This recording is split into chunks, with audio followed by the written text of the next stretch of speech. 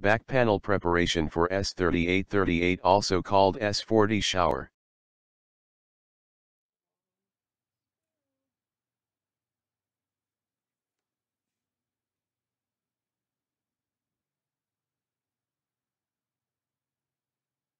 Install the rack bar to the center panel.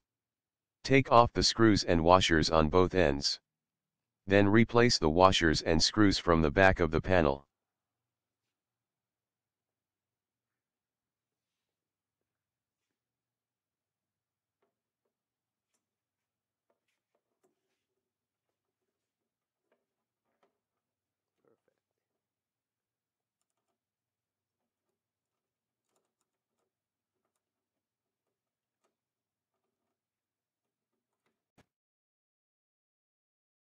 Install the mirror to the mirror panel. It is easy to put the panel on a flat surface of a work table. Insert grommets to the holes on the panel, put the mirror on top of the grommets and line up the holes.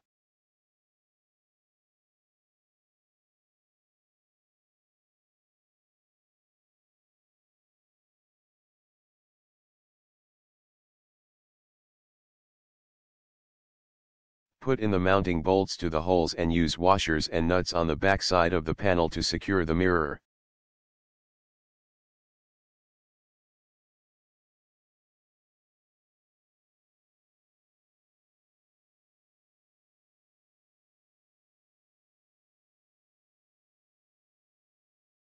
We are going to install the control valve with the diverter here. Water valve for the handheld shower. And towel bar here. Let's install the towel bar first. It is easier to flip the panel upside down.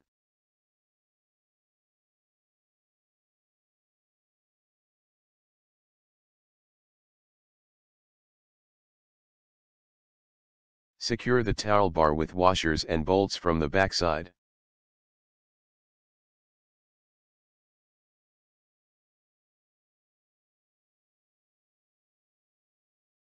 This is the valve and diverter combo.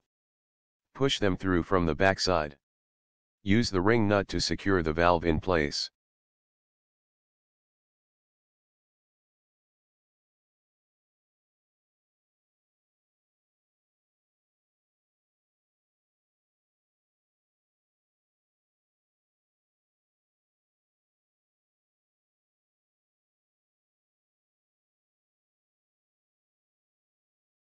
Put on the lock nut, then the cover and the chromed ring nut to the diverter.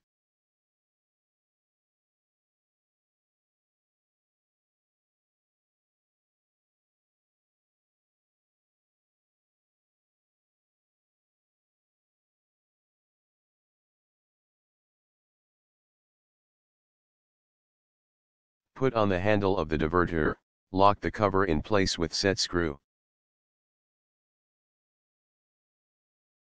Put on the handle of the control valve, lock the cover in place with set screw.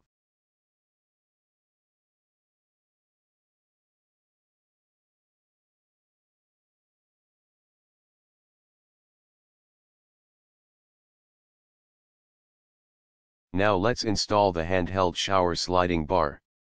Take off the chrome covers at both ends. Slide the bolts into the holes. Then let the bolts go through the holes on the panel.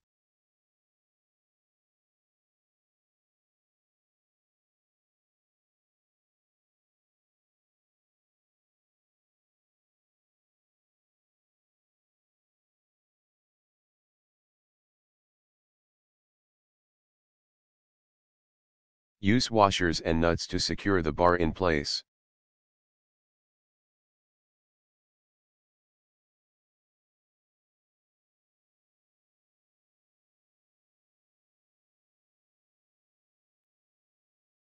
Connect the shower hose to the through wall supply elbow, and the shower head.